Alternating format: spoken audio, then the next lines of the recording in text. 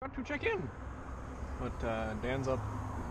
I don't know if you can see him up doing the fourth pitch, leading away. Um, the sun has just disappeared around the Angel's Crest buttress, whatever that's called, north north gully. This is south gully right here, so whatever that is, and then north gully on the other side. Sun has just disappeared, so the temperature's dropped like 15 degrees, which is amazing because it's really hot. Um, yeah, got ourselves full tankers all the way up, so limited X's for the win.